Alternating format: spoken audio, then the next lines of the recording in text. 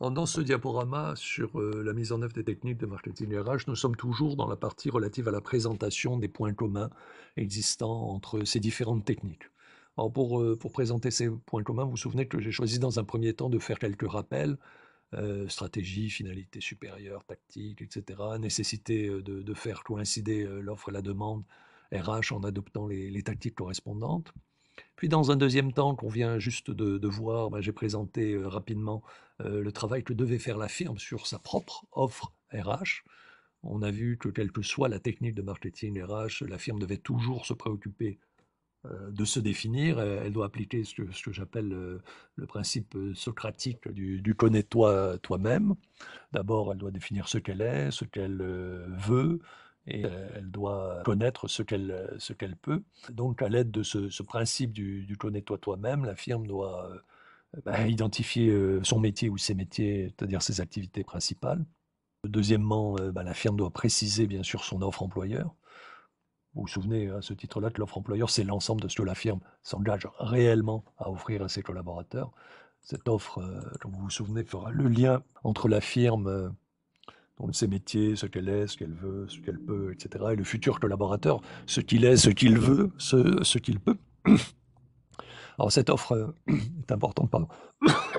cette offre est importante parce qu'elle va être à la base hein, du contrat psychologique et parce qu'elle engage hein, la firme qui, a une sorte d'obligation morale hein, de tenir ses promesses euh, vis-à-vis du futur collaborateur. Et puis, indépendamment de l'obligation morale, euh, la firme, naturellement, une obligation de, résultat. C'est-à-dire si les collaborateurs euh, s'en vont très rapidement ou s'ils mettent une mauvaise ambiance dans l'entreprise, c'est pas non plus euh, un gain pour l'entreprise.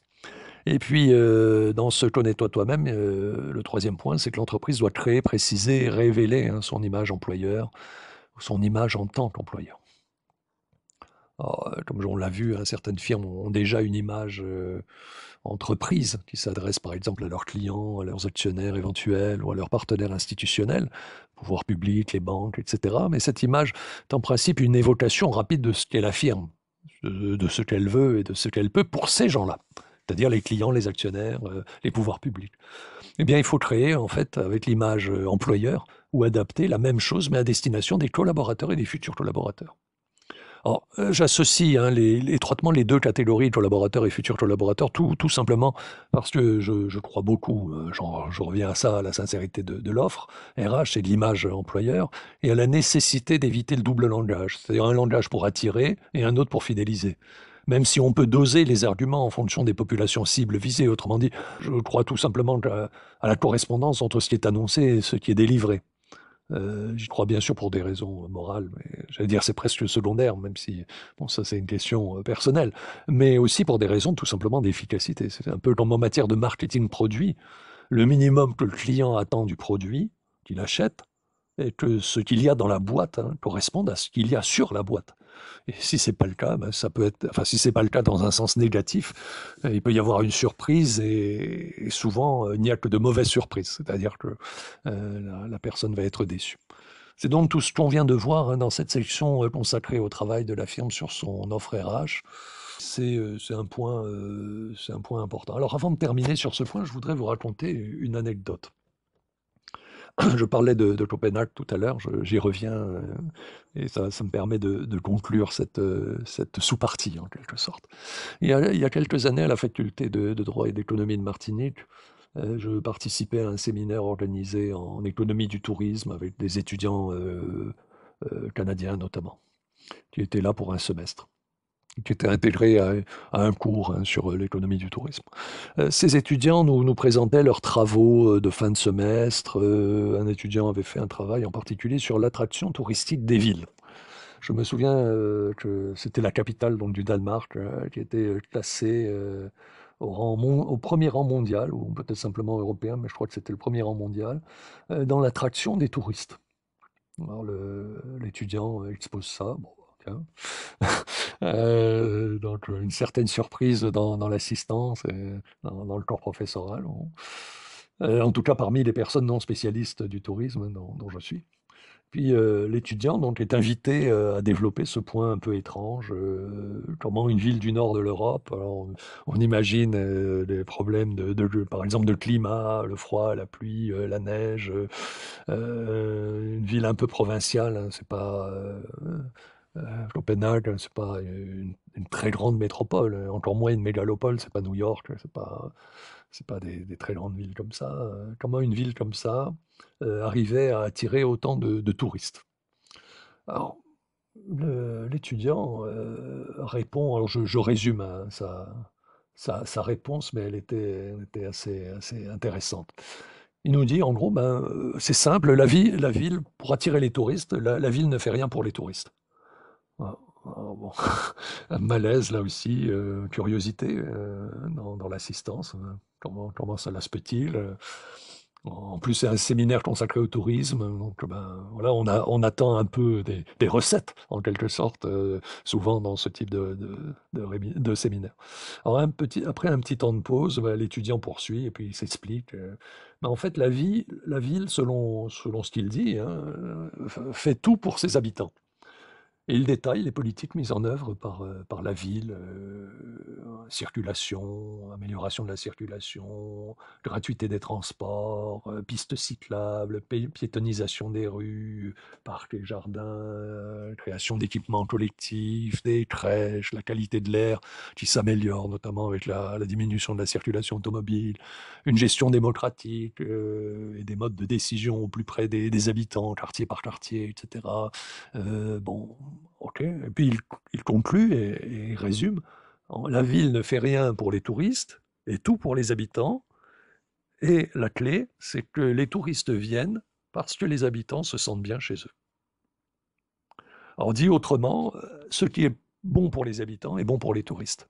Mais l'inverse n'est pas vrai. C'est-à-dire, c'est pas parce qu'on fait quelque chose euh, d'extraordinaire pour les touristes que ce sera bon pour les habitants. Voilà, je vous laisse réfléchir à, ça et à la transposition qu'on peut en faire hein, par rapport à notre euh, sujet hein, du marketing RH. Il est probable, et c'est pour ça que j'évoque cette anecdote, il est probable que les futurs collaborateurs, comme les touristes de mon histoire, euh, sont, attirés euh, parce que les collaborateurs actuels, autrement dit les habitants de, dans mon histoire, s'y sentent bien dans la firme, et non pas parce qu'on a cherché spécialement à attirer les nouveaux collaborateurs. Je vous avoue que je n'ai jamais vérifié si la capitale du Danemark était effectivement au premier rang mondial ou même simplement au premier rang européen pour l'attraction euh, des, touristes, ni si elle gagnait tous les prix, euh, ni si elle gagnait tous les prix, euh, la ville la plus sympa, la ville la plus accueillante, la ville la plus jeune, la ville la plus verte, avec le plus de vélos, le moins de voitures, le plus de pistes de transports en commun, j'en sais rien. je ne sais pas non plus comment étaient calculés ces chiffres, mais le sens de tout ça m'a paru à l'époque et, me paraît toujours intéressant. c'est un peu un paradoxe. Hein. On agit en agissant pour les gens de l'intérieur, donc les habitants de la ville ou les collaborateurs de, la firme, on envoie également un message euh, attirant pour les gens de l'extérieur, c'est-à-dire les touristes ou alors les futurs collaborateurs. Voilà, euh, après cette, euh, petite pause, hein, je résume d'un trait la section qu'on vient d'étudier ensemble. Donc, en une phrase, hein, avant de se préoccuper d'attirer la demande RH vers elle, la firme doit se préoccuper de construire son offre RH chez elle. Puis on va passer maintenant au, travail de la firme sur la demande RH émanant des cibles. Voilà, c'est donc la, troisième sous-partie de cette partie ou de ce chapitre, hein, comme, on voudra, relatif à euh, l'examen de certains points communs des techniques de marketing RH. Après avoir vu le travail de la firme sur son offre RH, cette sous-partie vise plutôt le, travail de la firme sur la demande RH émanant des cibles. Euh, comme il s'agit d'examiner euh, les points communs des techniques de marketing RH, on reprendra un peu euh, la même démarche que précédemment. C'est-à-dire que quelle que soit la technique de marketing RH qui sera mise en œuvre, on considère que la firme doit faire au minimum quatre choses. Elle doit cibler ses besoins actuels et à venir, besoins internes et besoins externes. Elle doit connaître ses marchés du travail. Elle doit assurer une veille et un benchmarking RH, donc on verra euh, ces notions. Et enfin, elle doit développer euh, des argumentaires propres à chaque groupe cible. Comme vous le voyez, ces tâches sont plus ou moins dirigées vers l'extérieur, alors que les tâches qu'on a vues avant, en ce qui concerne l'offre euh, ressources humaines, imposaient plutôt à la firme un travail préalable de connaissance d'elle-même.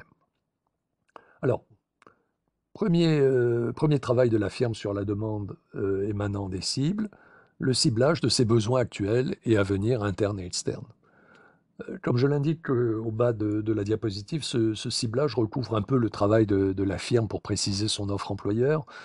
ça sert aussi, ce ciblage va nous servir aussi de transition entre le travail sur l'offre RH et le travail sur la demande RH. Il y a cependant une petite différence avec le travail sur l'offre RH qu'on a vu précédemment. dans le cas présent, la cible est nettement tournée vers l'extérieur de la firme. En effet, euh, le ciblage, c'est au fond l'identification par la firme des types de collaborateurs qu'elle souhaite recruter. On va voir dans, les diapos suivantes pourquoi et comment euh, définir euh, ces cibles. Alors, pourquoi cibler les besoins actuels à venir, internes, externes de la firme? En d'autres termes, pourquoi définir les cibles? On va voir ça en examinant les cinq ou six points suivants. Premier point, euh, le ciblage vise à pourvoir les emplois euh, proposés par la firme. Alors, on a vu que l'offre employeur était fondée sur un, examen des besoins de la firme en collaborateur. Bon, Mais quel collaborateur? Pour élaborer euh, cette offre employeur, il faut généralement reprendre la cartographie des emplois de la firme donc la répartition sous forme de tableau hein, des, emplois par, par nature, par grade, par spécialité selon les, services. Ensuite, il faut refaire l'inventaire des emplois et des postes à partir des fiches de poste. C'est-à-dire qu'on doit en permanence savoir, et c'est la base du contrat de travail, la fiche de poste, on doit en permanence savoir, ou du moins l'entreprise doit en permanence savoir, euh, pour euh, rédiger euh, le contrat de travail et puis pour, pour faire exécuter les missions qu'elle souhaite faire exécuter par le salarié, ce, que le salarié doit faire dans, à, tel endroit, sur, à tel poste de travail, sur telle machine ou sur tel, dans tel atelier, dans tel service, etc. Donc tout ça, ça doit être encadré, alors plus ou moins étroitement, ça dépend aussi de, la nature du travail et puis du, nombre de salariés, mais il y a cette, nécessité de bien connaître les emplois, et notamment les emplois à travers les fiches de poste, hein, qui sont le niveau le plus élémentaire de, cette, hiérarchie hein, des tâches et des missions. Troisième point, il faut confronter l'existant à la réalité des besoins. Donc c'est ce que j'évoquais un peu précédemment, c'est-à-dire que lorsqu'on va faire cet inventaire, on va peut-être trouver, euh, quand on va actualiser cet inventaire ou cette cartographie des postes, on va peut-être trouver eh ben, des gens qui sont euh, débordés euh, et d'autres qui, sont un peu moins débordés. Et donc ça nous amène à mesurer les décalages éventuels. Alors je donne quelques, quelques exemples pour illustrer ces décalages. Des postes ont pu évoluer et ne correspondent peut-être plus à la fiche euh, des postes. Des fonctions ont pu disparaître, ou bien être fusionnées avec d'autres. D'autres fonctions sont peut-être apparues euh, et ne sont pas attribuées à un poste en particulier, mais au contraire éclatées entre plusieurs postes. Euh, des tâches qui étaient auparavant jugées subalternes sont peut-être devenues importantes et nécessitent peut-être d'être requalifiées et les emplois réévalués dans l'organisation on peut songer à ce titre-là aux emplois, par exemple, dans les ressources humaines, sur les 30 ou 40 dernières années, par exemple. Or, des tâches ont été automatisées à l'aide de logiciels. Par exemple, la paye, au sens strict du terme. D'autres tâches se sont compliquées. La gestion informatique, la protection des données personnelles, la gestion sociale au double sens des institutions sociales et du dialogue avec les représentants du personnel ou les syndicats, la gestion juridique. Il faut savoir que le Code du travail a été modifié de façon importante, plus de 20 fois, de façon importante, plus de 20 fois en 20 ans. Donc c'est un environnement euh, très compliqué, notamment en ressources humaines, mais pas uniquement, euh, pour, euh, pour les entreprises. C'est un environnement très mouvant. Et donc ça, ça implique une gestion juridique particulière. Par exemple, les nouvelles conventions collectives d'entreprise hein, qui ont été instituées en 2017 renvoient à l'entreprise la fabrication d'une partie du droit du travail et ça va impliquer de manière importante les services RH. Euh, Donc vous voyez, euh, simplement avec un, tout petit balayage de quelques secondes, on s'aperçoit que certains emplois ont pu être modifiés de manière substantielle dans, les années récentes. On peut aussi penser aux modifications intervenues, bien sûr, dans, l'informatique ou avec l'informatique, toujours sur cette même période de 30 à 40 ans. Alors, diminution des tâches traditionnelles, par exemple, de secrétariat, dactylographie. Nouveaux besoins euh, liés à la nécessité de gérer ou, de maintenir des réseaux informatiques, de gérer ou d'entretenir, d'actualiser des sites web, de gérer des commandes en ligne, de gérer la relation client. Et puis aujourd'hui, euh, peut-être euh, les développements euh, du télétravail.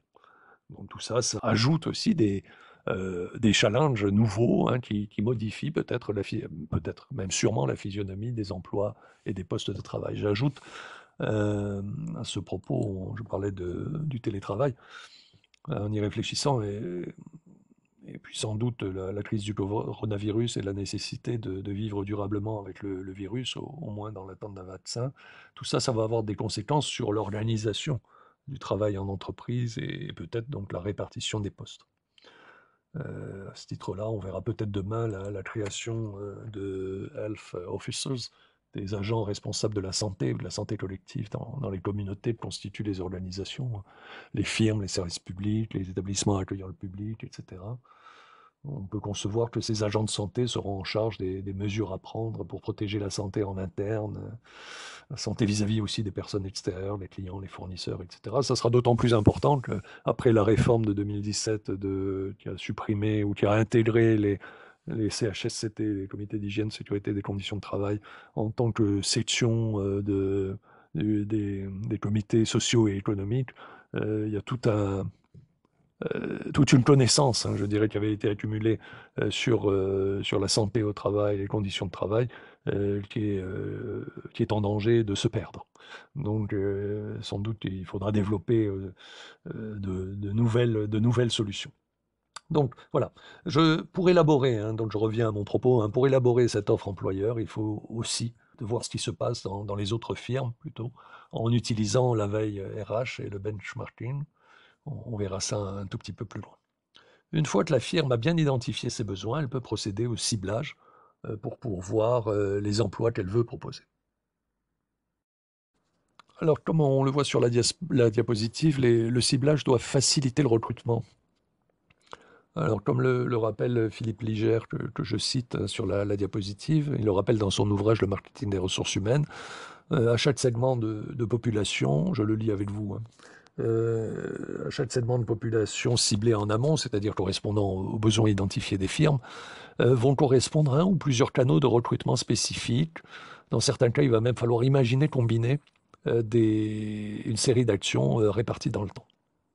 Juste par, par parenthèse, hein, je, fais remarquer que Philippe Liger conçoit bien le marketing RH euh, comme un processus et non pas comme une simple technique. Je veux dire par là que, euh, d'une part, euh, l'attraction, le, recrutement, l'intégration, la fidélisation des collaborateurs se déroulent dans, dans le temps et sont des processus continus, c'est-à-dire qu'on ne fait pas du marketing RH pour un recrutement ou coup par coup, mais dans le cadre d'un flux plus ou moins continu de recrutement, carrière, retraite, recrutement, carrière, retraite, etc. on peut intercaler formation aussi. Euh, autrement dit, euh, un départ à la retraite ou une formation euh, dans l'entreprise, et pas seulement un recrutement, sont des éléments qui impactent le marketing RH et qui doivent être pris en compte d'une manière ou d'une autre par le marketing RH. Donc ça, c'est le premier point. D'autre part, le marketing RH démarre avant le marketing RH proprement dit. Si je peux dire. Alors, qu'est-ce que, qu'est-ce que je veux dire par là? Ça signifie pour moi que le marketing RH prend le relais ou s'intègre à l'identification par la firme de ses besoins très en amont. C'est-à-dire qu'on n'attend pas de faire du marketing RH pour faire du marketing RH. On, conçoit le marketing RH très en amont, euh, dès que la firme commence à identifier ses besoins en personnel. On retrouve un peu ce qu'on a évoqué plus haut, à savoir la, stratégie de la firme ou encore son connais-toi toi-même. Euh, qu'est-ce qu'elle est, qu'est-ce qu'elle veut, qu'est-ce qu'elle peut? Donc ça, c'est une parenthèse hein, que je voulais faire sur, euh, sur cette notion de, de, ciblage qui doit faciliter le recrutement.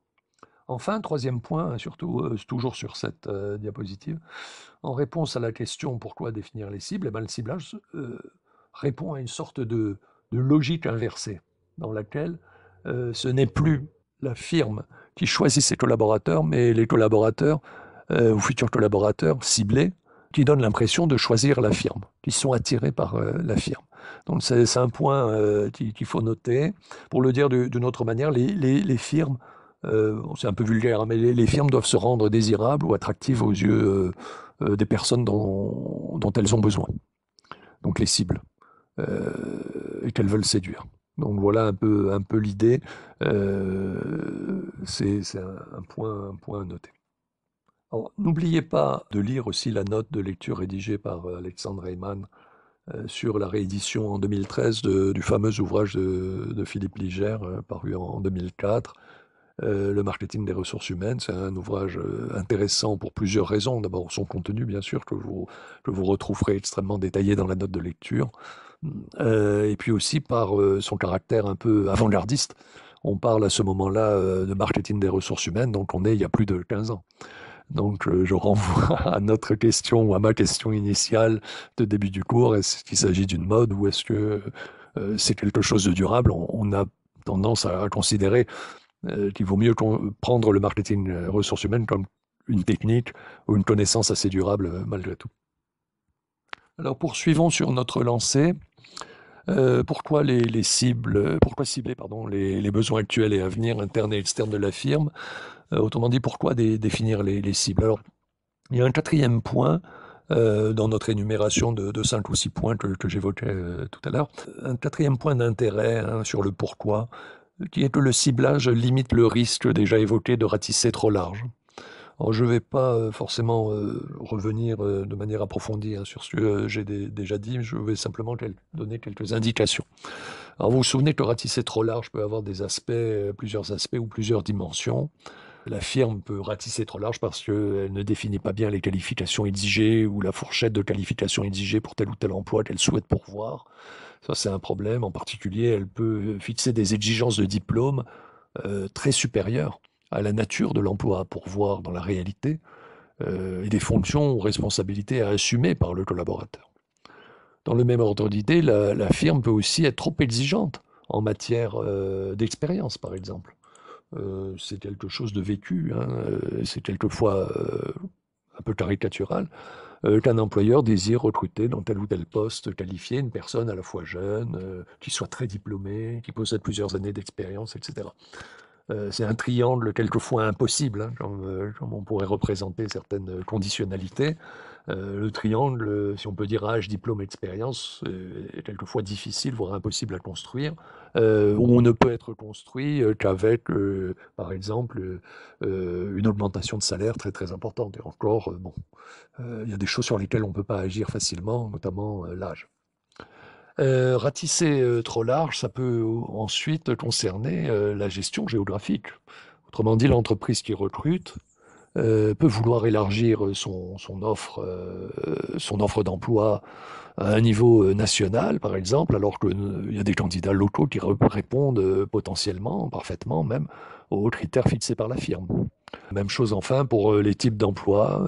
Certaines firmes peuvent voir trop large, entre guillemets, et rechercher par exemple des profils extrêmement polyvalents, mais, très rares. donc très coûteux, coûteux en temps de recherche, tout en rémunération, etc. Ou très rares ou encombrants en tombant entre guillemets. Hein. Je renvoie à la problématique de gestion euh, des talents dont on a déjà parlé. Euh, quelquefois, euh, les, talents sont, sont pas faciles à intégrer. on, reprend un peu la classification de Cécile Dejoux qu'on avait vu dans le, précédent PowerPoint, depuis quelques articles qu'on avait vus à, cette occasion. Alors, on sait aussi que ratisser trop large a des effets qui ne sont pas toujours bénéfiques. Hein. Je, je résume tout ça dans la, diapositive, on l'a déjà évoqué, trop de candidatures, temps de traitement et de sélection, euh, sous-entendu perte de temps de traitement et de sélection euh, important, recrutement au final euh, mal adapté, déception de part et d'autre, hein, employeurs et, salariés avec plusieurs, plusieurs aspects. Hein. Le collaborateur embauché peut se retrouver dépaysé, sous-payé, surchargé de travail ou de responsabilité. On, a vu dans cette question, dans ce, cours, la question de l'équité, hein, qui est une sorte d'équilibre entre ce que le collaborateur donne à la firme et ce qu'il en reçoit. naturellement, le contrat psychologique, qui est la base de l'engagement, dans ce cas-là, n'est pas respecté non plus. Euh, l'équité euh, n'est pas respectée puisqu'il y a un déséquilibre, le contrat psychologique n'est pas respecté. Euh, puis de son côté, la firme peut également subir ce déséquilibre entre ses espérances, puis la réalité d'un recrutement ou d'une intégration plus ou moins ratée. Hein. Donc on imagine, on recrute un talent et puis, comme disait un des articles qu'on avait vu lors dans le dernier PowerPoint, ben les, le talent, lui, met pas les mains dans le cambouis, il se retrouve dans une petite équipe il n'est pas chouchouté, il faut qu'il se mette au boulot.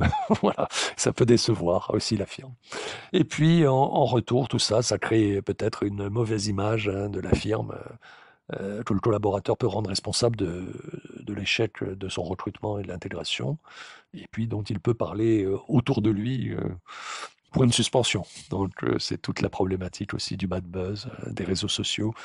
Euh, le collaborateur n'est pas forcément un bon ambassadeur de, son entreprise, surtout s'il a été recruté dans des conditions qui ne lui conviennent pas.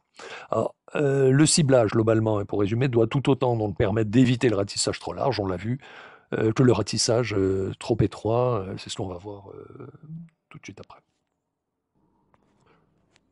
Un ratissage euh, trop étroit, notamment en termes de qualification et, de diplôme, ou de région, ou même de type d'emploi, pose également des problèmes qu'on a déjà évoqués.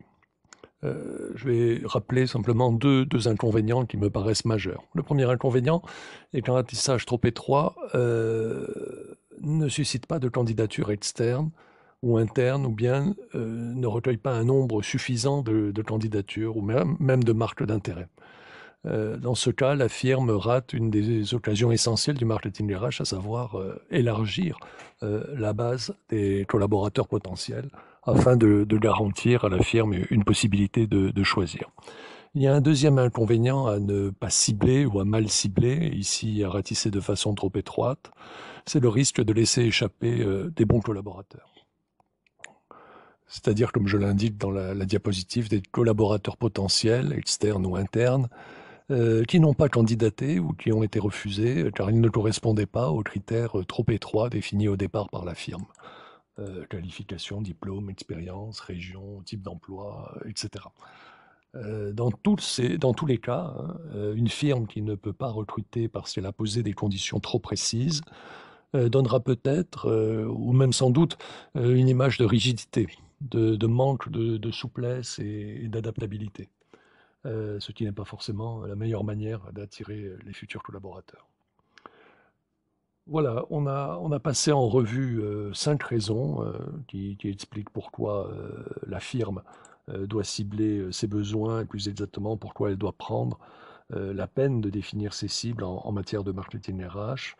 Après le, pourquoi, on va survoler maintenant le comment ou comment la firme doit cibler ses futurs collaborateurs. Alors on va passer en, revue euh, rapidement cette, euh, cette question, euh, mais je renvoie à la diapositive suivante hein, pour que vous puissiez étudier trois documents qui complètent ce comment. pour l'instant, la manière dont la firme peut, ou doit d'ailleurs, cibler ses futurs collaborateurs se décline, à mon avis, en quatre points de méthode qui sont en fait autant d'étapes. On retrouve ici, dans un premier temps, la, nécessité pour la firme d'identifier ses besoins et son potentiel d'évolution. Alors, cette, identification des besoins et du, potentiel euh, doit elle-même se faire à deux niveaux. Euh, le niveau de la firme et puis sa déclinaison au niveau de l'emploi, bien sûr. Au niveau de la firme, on peut utiliser la base socratique, entre guillemets, dont on a déjà parlé plusieurs fois, le connais-toi toi-même euh, adapté à l'entreprise. Je n'y reviens pas, vous vous souvenez que la firme doit identifier ce qu'elle est, ce qu'elle veut et ce qu'elle peut. Cette identification euh, des besoins et du potentiel doit également être déclinée au niveau RH et en particulier au niveau des emplois. Euh, des emplois actuels, bien sûr, et des emplois à pourvoir dans, l'avenir. C'est ce que je veux dire par là. C'est simple et on l'a déjà évoqué. la firme produit des biens et des services. D'une part, à partir euh, des marchés, marché des facteurs de production, euh, à savoir marché des capitaux, marché du travail, et aussi marché des matières premières, marché des consommations intermédiaires, etc. Euh, et d'autre part, la firme produit des biens et des services vers des marchés. Marché des biens et des services, marché domestique, marché extérieur. La vision que la firme a de son présent et de son avenir sur ces marchés ou par rapport à ces marchés va avoir un impact sur ses ressources humaines. Je donne un exemple. Vous vous rappelez le cycle de vie des produits et la matrice de Bruce Anderson du Boston Consulting Group au début des années 1960. si en tant que firme, je veux développer des nouveaux produits ou des nouveaux services pour anticiper les besoins des consommateurs, ou même pour les, susciter ou les créer, je vais devoir investir du capital et du travail dans la recherche. Vous vous souvenez, le point d'interrogation dans la matrice. Donc, pour ce qui concerne les ressources humaines, le facteur travail, je vais, en tant que firme, procéder à des recrutements de personnel pour mes centres de recherche et de développement. Si sur 10 ou 100 de mes projets de recherche, mes points d'interrogation, il n'y a qu'un seul projet qui se transforme en bien ou service monnayable. Alors je vais recruter du personnel pour produire en série ce bien ou ce service et du personnel pour le commercialiser, etc. Parallèlement, je dois entretenir ma capacité à faire du cash en renouvelant régulièrement le personnel et les investissements en capital qui font marcher ma vache à lait, c'est-à-dire dans la matrice du Boston Consulting Group, le bien ou le service qui me rapporte beaucoup et me coûte peu, et qui me permet de financer le reste. Autrement dit, la matrice de ma firme qui présente au fond, sous une autre forme, le connais-toi toi-même, à bien y réfléchir, euh, va avoir une incidence sur ma politique de marketing RH. De quelles ressources humaines ma firme a-t-elle besoin pour concevoir et produire tel ou tel bien, tel ou tel service aujourd'hui et demain? Et une fois que j'ai identifié les ressources humaines nécessaires, comment les attirer, les recruter, les intégrer, les fidéliser, etc. Voilà, donc ça c'est un, point qui, me paraît, euh, qui me paraît important, qui est un premier point, une première étape hein, dans les, quatre points de méthode ou les quatre étapes que, j'ai annoncées. À partir de ça, on a un deuxième point de méthode ou d'étape concernant euh, la manière dont la firme peut cibler ses futurs collaborateurs. Une fois qu'elle a déterminé ses besoins en ressources humaines, la firme peut procéder à des appels à candidature. Elle peut envisager des appels à candidature ouverts, interne ou externe. En d'autres termes, la firme peut recruter, euh, peut rechercher en tout cas euh, dans ses ressources humaines propres, c'est-à-dire dans ses collaborateurs actuels, ceux qui sont intéressés par un nouvel emploi à l'intérieur de la firme. Je rappelle qu'il peut s'agir d'une mobilité verticale et une promotion, par exemple, pour euh, tenir compte de la qualification, de la formation et ou de l'expérience du collaborateur. Il peut également s'agir d'une mobilité horizontale à caractère géographique. Le collaborateur change d'établissement ou d'usine ou de service, ou bien une mobilité fonctionnelle, le collaborateur change de fonction sans nécessairement de promotion. Il peut enfin s'agir d'un mélange des trois mobilités, par exemple une promotion occasionnée euh, par un changement euh, de lieu de travail et un changement d'emploi euh, ou de fonction. Donc on a, on a ces possibilités. La firme peut aussi rechercher des collaborateurs à l'extérieur. On a vu le halo, entre guillemets, le vivier, les candidats, les néo-collaborateurs, etc. Donc ça, c'est la, deuxième étape, si on peut dire, dans la recherche, dans le comment euh, cibler les besoins actuels et à venir euh, internes et externes de la firme. Il y a une troisième étape euh, pour répondre à la question du comment. Cette troisième étape, c'est le ciblage, proprement dit. On a vu, on a vu pardon, que le ciblage nécessitait une bonne connaissance interne des besoins de la firme et une bonne connaissance externe et interne de la demande RH émanant des futurs collaborateurs, des collaborateurs actuels. Dans les deux cas, et surtout dans le premier, c'est-à-dire appel à des futurs collaborateurs provenant de l'extérieur de la firme, la firme doit procéder à l'étude des marchés du travail, garder une veille RH et la compléter par du benchmarking RH. On va aborder dans les diapositives qui suivent euh, ces, trois aspects. Quelques mots sur le, ben, euh, sur le marché du travail rapidement, puisqu'on en a déjà parlé, la veille RH et le benchmarking RH compléter les aspects ci-dessus, je vous recommande d'étudier attentivement les trois documents d'une page chacun indiqués sur cette diapositive. Le vocabulaire euh, autour de la notion de poste et d'emploi. Il s'agit en fait d'une fiche de cours, c'est-à-dire un document de travail que j'ai préparé pour euh, compléter le diaporama et, aller un peu plus loin que les, diapositives. Euh, un exemple de descriptif de poste, donc c'est aussi une, fiche de, cours, et un résumé sur trois méthodes d'analyse de poste. Euh, ces documents sont intéressants pour euh, deux raisons au moins. D'une part, ils complètent la notion de comment euh, qu'on vient de voir, c'est-à-dire la manière dont la firme peut cibler ses futurs collaborateurs. D'autre part, les notions de vocabulaire qui sont rappelées les précisions qui sont données sur la notion de poste de travail peuvent être très utiles en, ressources humaines en général et bien au-delà du, du, travail actuel sur le marketing RH. Alors après avoir vu le, travail de la firme sur l'offre RH, cette sous-partie vise le, travail de la firme sur la demande RH, c'est-à-dire la demande émanant des cibles. Pour cela, on a dit plus haut que la firme devait faire au minimum quatre choses. Je les rappelle très très rapidement. cibler ses besoins actuels et à venir, internes et externes, c'est ce qu'on vient de voir. Connaître ses marchés du travail, c'est ce qu'on va voir maintenant ou rappeler maintenant puis assurer une veille RH et un benchmarking RH, et enfin développer des argumentaires par groupe cible. C'est ce qu'on verra après. Pour l'instant, on en revient euh, au marché du travail. Le travail de la firme sur la demande RH émanant des cibles impose à l'entreprise de connaître les marchés du travail. Je ne vais pas reprendre en détail ce que nous avons vu ensemble. Aussi, je vous invite à revenir euh, sur la première partie du diaporama précédent. Vous vous souvenez que dans ce diaporama, on essayait de préciser les comportements des cibles du marketing RH. Et pour cela, on s'était posé la question de qui parle-t-on euh, sur cette notion de cible, avec une approche selon la situation de l'offre et de la demande euh, sur les marchés du travail. je reprends ces aspects dans les quelques slides qui suivent. Alors, euh, cette diapositive rappelle que les aspects euh, qui tournent autour de la problématique des marchés euh, du travail sont les suivants. J'ai listé quatre aspects, mais en, fait, on, n'en a traité que trois hein, dans cette partie, puisqu'on avait mis de côté la, question des talents. Alors, d'abord, comme on en avait pris l'habitude, on, a commencé par quelques définitions. Ensuite, j'avais indiqué une approche par métier, au sens des métiers des individus, hein, cette fois, et non des métiers ou de l'activité principale de la firme. Et enfin, j'avais terminé par une approche complémentaire fondée sur la, notion d'activité humaine. On avait également vu quelques aspects, quelques paradoxes euh, sur euh, le marché du travail, je, n'y reviens pas.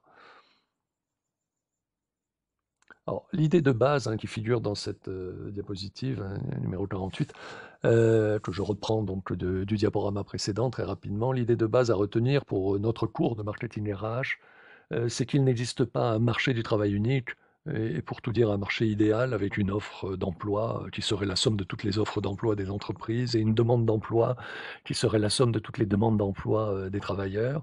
Offre et demande d'emploi euh, qui déterminerait euh, à un moment donné un prix du travail, à savoir le salaire, ou plus largement les rémunérations salariales.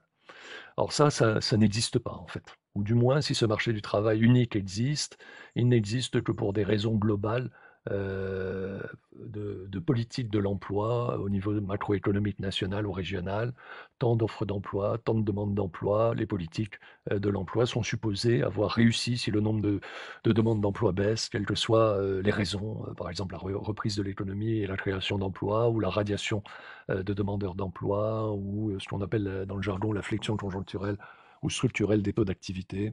En, deux mots, c'est le fait que, par exemple, des demandeurs d'emploi se retirent purement et simplement du marché du travail parce qu'ils ont abandonné tout espoir euh, de, travailler. Alors, il peut y avoir des raisons conjoncturelles, euh, il peut y avoir des raisons plus structurelles. Et alors ça, c'est une des raisons hein, euh, pour lesquelles ce marché du, travail n'existe pas. Et surtout pour ce qui nous occupe ici, un tel marché du travail unique n'a en fait aucun intérêt euh, ou utilité pour les firmes. En effet, comme on, l'a vu dans une précédente séance, euh, l'entreprise, elle, elle a besoin de savoir assez précisément sur quel type de marché du travail elle doit situer son offre d'emploi. Ça ne lui sert à rien de développer une action de marketing RH sur le marché du travail global et unique, même s'il existe, même s'il existait. la firme a, besoin de savoir ce qu'elle cherche, où elle doit le chercher, dans quelle gamme de niveau hiérarchique ou de qualification et de rémunération elle doit formuler son offre, etc. En fait, donc, il existe euh, des micro-marchés du travail en fonction des différents critères qui peuvent euh, exister, à savoir au moins euh, trois critères. Hein, critère géographique, celui des, donc celui des bassins d'emploi, les types de métiers aussi, et puis les niveaux hiérarchiques. On divise généralement en au moins trois catégories, l'exécution, l'encadrement et la direction. Euh, les schémas de la diapositive 48 tentent de représenter ce passage euh, du marché idéal au marché du travail réel. Alors il y a une deuxième approche pour connaître le marché du travail, euh, une approche complémentaire. Hein. c'est une approche en fonction des métiers exercés par les collaborateurs. On a évoqué déjà cette question, certains métiers vont être plus attrayants que d'autres. Cette attraction, au contraire, cette répulsion peuvent être liées aussi à la position du métier dans son cycle de vie. Cycle de vie des métiers rappelé notamment par Franck Briet et Franck Lavoile dans un bouquin, dans un ouvrage que j'ai déjà cité, un marketing RH de, de 2017. Alors sur cette diapositive, la courbe en cloche représente ces cycles de vie des métiers. Pardon. Très schématiquement, les auteurs, Lavoile et, et Briet, distinguent quatre phases. dans le cycle de vie, les métiers émergents, les nouveaux métiers, les métiers en survie et les métiers perdus. Par parenthèse, on peut rapprocher au niveau du raisonnement ces quatre phases des quatre cellules de la matrice du Boston Consulting Group dont on a parlé plus haut. Toutefois, il n'y a pas de, correspondance stricte, hein, dans la mesure où on ne parle pas exactement en fait, de la même chose, produits, services, idées, métiers, etc. alors par exemple, un point d'interrogation, à savoir un thème de recherche en entreprise qui coûte plus qu'il ne rapporte, ne correspond pas nécessairement à un métier émergent. Même si on peut concevoir qu'un métier peut émerger dans le sillage d'un produit ou d'un service nouveau. certains métiers d'Internet, par exemple, illustrent hein, cet aspect. Ou même l'inverse. On pourrait imaginer qu'un métier nouveau peut entraîner le développement de produits et de services nouveaux. On peut poursuivre la, réflexion sur les trois autres types de la matrice. Hein. Vous vous souvenez de l'étoile, c'est-à-dire le produit ou le service qui, le bien ou le service qui rapporte autant qu'il coûte, la vache à lait qui rapporte plus qu'elle ne coûte, le cercueil qui ne rapporte plus mais ne coûte plus. Alors de même pour ces trois autres types de, matrices, on peut mettre en correspondance peut-être trois types de cycles de vie des métiers tels que décrits dans la courbe en cloche qu'il y a dans la, la diapositive 51. Alors, il est important de savoir en fait dans quelle phase de la vie d'un métier se situe l'offre RH que la firme dirige vers les cibles. En effet, il est différent de proposer des emplois dans des métiers émergents ou dans des métiers perdus. Alors c'est différent pourquoi? Parce qu'il va y avoir une différence au niveau de la détermination du contenu de l'offre employeur, donc des perspectives éventuellement d'emploi, différence aussi au niveau du ciblage hein, des collaborateurs potentiels selon qu'on a affaire à différents types de métiers tels que présentés dans, la courbe que, vous avez sous, les yeux.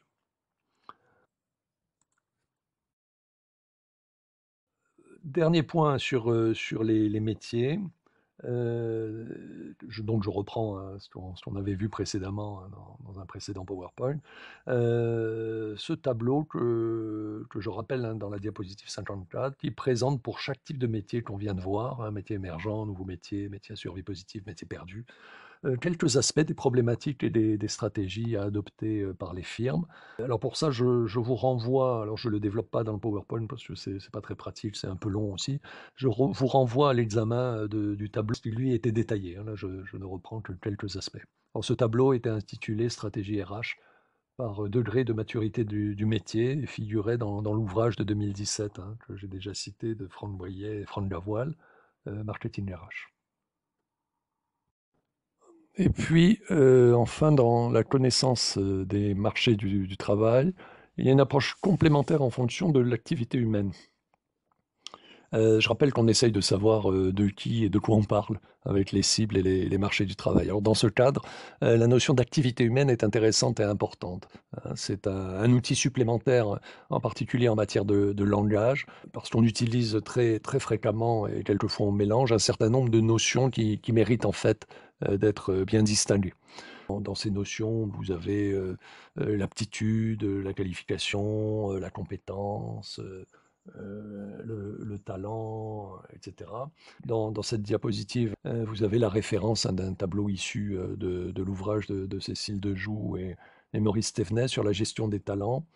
Euh, ce tableau hein, euh, auquel je fais référence s'appelle Les concepts qui décrivent l'activité humaine. C'est un tableau très, très important, très intéressant, qui va au-delà hein, de, de, ce cours de marketing RH. D'ailleurs, par parenthèse, ce, tableau me paraît important parce que les mots qu'il décrit euh, sont en fait comme, comme des outils. Hein, et que dans la maîtrise d'une discipline, on, évoquait euh, tout à l'heure euh, l'évolution euh, des métiers de l'enseignement, mais dans la maîtrise d'une discipline, que ce soit la gestion des ressources humaines ou, d'autres disciplines, il est important de bien connaître le sens des mots et des concepts pour bien les, utiliser. D'ailleurs, c'est d'ailleurs étymologiquement lié, utilisé lié à la notion d'outil. bien s'en servir en tant qu'outil, il faut, bien les connaître. Euh, ce, tableau que j'évoque, euh, il est important pour ça, au-delà bien sûr de, de la notion de marketing RH.